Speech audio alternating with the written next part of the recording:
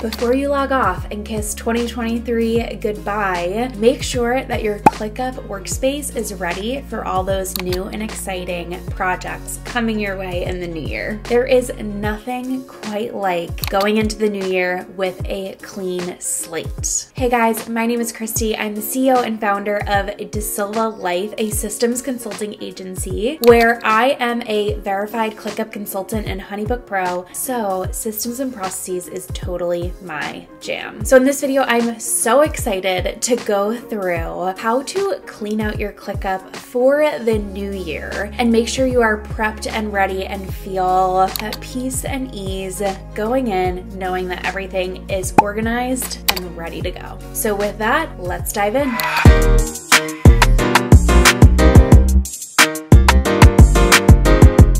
So let's dive in to the things that you can do to clean out your ClickUp and prep it for the new year. So, the first thing that we're going to go through is cleaning up your hierarchy. So, what you're going to want to do is really evaluate what worked in 2023 and what didn't work. Where do you feel like there are sticking points or things that maybe you plan to use but you never used? I'll give you an example of a standard hierarchy that we use. Um, now, please ignore everything that is in gray this is our template workspace. So these are some of our planning bundles and then our template holding spaces as well. But a typical structure that we have is operations, growth, marketing and PR, clients, programs and courses, and personal. So in operations, that'll have all like business HQ type type things, hiring, team resources, updates and maintenance, etc. Growth would have things like sales trackers, launch templates, goals tracking, leads, project availability, etc marketing and PR. Now, this is also, we have some like template stuff in here too. So, this isn't exactly what ours look like. It's not exactly what we set up for our clients. Every single person's going to be different. So, do not take this as end all be all. Uh, marketing and PR is going to be things that are related to marketing and PR. So your content calendars, your PR, your collaboration trackers, etc. Clients is where you can have your client projects. So for example, how we have this is every single ClickUp client that we do ClickUp builds for has a folder.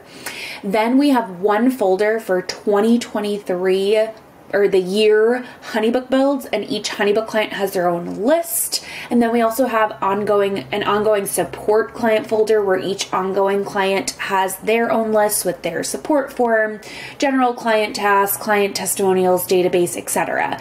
So this is going to look different for you based on your project types, on your clients, things like that. Um, but I typically recommend having one space for all clients. Then you're going to go into programs and courses. So, this, if you have a program, course, membership, mastermind, managing all that stuff in there. And then personal, it's just fun things, vacation planning, Christmas gift tracker, etc. If you want to combine your personal with your business. Some people do not. Some people want it in a totally separate project management tool. Some people want it in a totally different ClickUp workspace. I personally love it in my business one for now subject to change as always. So you're going to go through your hierarchy and say, okay, what worked for me? Where do I feel like there are these, you know, hesitations, these roadblocks? Let's clean this up. You're also going to go through and say, is there anything in here in operations that I didn't touch for the whole year? Um, this is also a great time to do the ClickUp clean out. Um, I will link that in the description below. We have a ClickUp clean out task template and tutorial that will show you any stale tasks that you have, any spaces that are like, you haven't touched this in a while. Are you sure you want to have this and use this? So it's a great time to reevaluate your hierarchy. Okay, step number two, after you go ahead and clean out your hierarchy and say, what do I no longer want? Then it's time to decide what to archive. So if you're deleting something, it's going to be like, I don't use this. I'm not going to use it. Um, things like views as well. Check out your views on the everything level. Do you use all the views? Do you need to delete some? Check out your favorites bar. It's really this time to declutter. And then archiving is when you're like, okay, this project, this client, this yearly thing is over um, and now we want to refresh for the new year. So archiving is a great option because you can still bring it back, right? So if I have clients, right, and I have this project based client, for example, to DaSilva Life Clickup build, If I go ahead and archive this, it's still going to be available if I go into here and I click show archived. Then you can see all these different places and then you can always restore it if needed. So I will turn off archived. So you're going to go through and decide, you know, what do I need to archive for the new year? So for us, we archive any completed ClickUp projects. We archive the entire 2023 Honeybook builds. We archive our launch folders. So in growth, we will have a launch folder for every single launch during the year and we'll keep it open for the whole year. And then at the end of the year, we will go ahead and archive the launches. So really going through and saying, what do I want want to keep for data purposes, but do not need to look at moving into this new year. Tip number three time to delete old dashboards. So, if you come into dashboards, there's no option right now to archive dashboards. You can only delete them, but there are definitely dashboards 99% of the time that we created and we never used, or maybe it was a client dashboard that we forgot to delete. So it's time to just go through and check out your dashboards and be like, okay, what can I clean out? This is gonna feel so good. I promise. You'll be so happy you're going through and doing these things. It's not complicated. It's just like, okay, what am I using? What am I not using? What do I have to delete or archive? Then it's time to go ahead and assess your goals section. Do you use ClickUp goals and is it time to archive any of those? Again, I wouldn't suggest when it comes to things like goals deleting them because you still want to have record that you did you know have them um, and whether you hit them or not i think it's best I would only delete or recommend to delete it if you're like, I never tried to achieve this goal. This was just a test, etc. But if you're like, this is a goal I set for 2023, whether or not you achieved it or not, I would recommend either archiving it or putting it into a folder that's like 2023 goals and shove them all in there and you can always reference them later. So go into your goals section, check it out. Also, go into your whiteboards. Do you guys use whiteboards? Um, anything in here that you can check out and be like, okay, let me just get rid of the clutter, clean out the clutter. And then also if you have any goals trackers in terms of like lists, right? So we have this annual habit and annual goals and habit tracker. Do you have this for each year and is that something you want to archive? Or you can also choose to refresh it.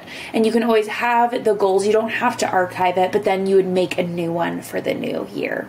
There are also different templates while I'm on this topic that you're going to want to refresh fresh for the new year. Now, I don't mean clear it all out, but for example, our sales trackers, our profit first trackers, we have one list for every single year because it's annual.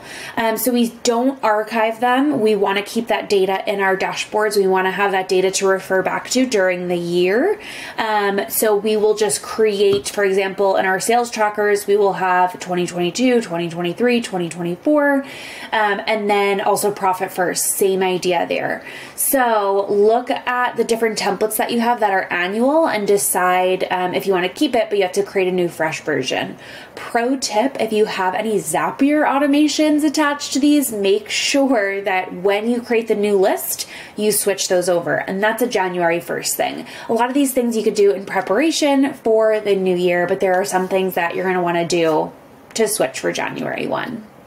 Okay, next thing is as you're doing the hierarchy clean and the ClickUp clean out, again, we have the ClickUp clean out task that goes through all the things. Let me actually, um, here, ClickUp clean out task template. So if you come into here, you can see all of the action items that, again, this is available in our shop, but your tasks, your hierarchy, miscellaneous. As you're going through this and seeing any still tasks, now is your time to decide, is this something that I actually want to put on my to-do list for the new year? Is this something I want to strive to achieve and put a due date on it? So also, this is the time to not just delete an archive, but also say, you know what, 2024 is the year. I'm going to do that thing. And then lastly, it is time to evaluate your SOP library. So we have, again, this in our template shop, also in our team management bundle, as you can see here. Maybe you have one SOP library, maybe you have multiple, maybe you have none. Now is the time to look at your SOPs and say, are there any that need a refresh? Do I need to put this into needs edits or create another status that says refresh, revamp, etc.?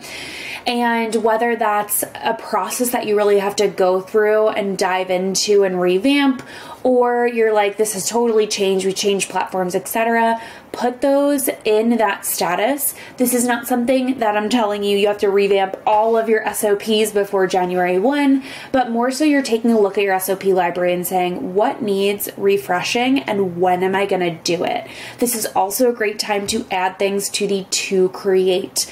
If you are prepping to hire more team members or team members in the first place, let's be proactive. And I feel like there sometimes too where there's this roadblock of like, oh my gosh, I have to create all these SOPs. But really, the first step is just writing down the ones that you have to create. You don't have to create the task and do the SOP on the same day. Let's just start getting the wheels turning and brainstorming of what has to happen to bring on these team members to revamp these SOPs. So that is it for what we do and what we suggest you do for your 2024 prep, your 2023 declutter and ClickUp. I hope this video was helpful for you and gave you a little bit of inspiration into, you know, it's not complicated, but having a fresh and clean system going to the new year is going to make all the difference. So, cheers. So I hope that video was helpful for you in learning how you can clean out your ClickUp for the end of the year, the steps that we actually take at DaSilva Life, and also help our clients and students do as well. If you are newer to ClickUp or you've been using it for a while and you really are ready to dive into that step by step and set it up and maximize it, go ahead and check out our System School ClickUp course and Template Vault. You can buy them separately or bundle them together. It's going to be all the resources you need to set yourself up for success. So if you are going into the new year saying, This is the year I get my ClickUp set up right so I can scale my business, make sure to check it out. I'll put it in the link in the description below. And with that, thank you so much for watching. Please make sure to give this video a thumbs up and subscribe to our channel if you want all the ClickUp content coming your way. And I'll see you next time.